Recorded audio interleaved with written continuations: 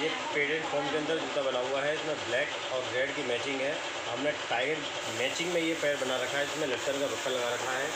Toll first grade का है और हमने साइज़ में अवेलेबल पाँच से नौ का भी दे रखा है, जो भी छोटे पैर वालों को प्रॉब्लम नहीं है। सफ़ाई देखिए फिनिशिंग देखिए सूट की क्वालिटी देखिए, बेहतरीन जूता है। दोनों जूते बहुत अच्छे हैं।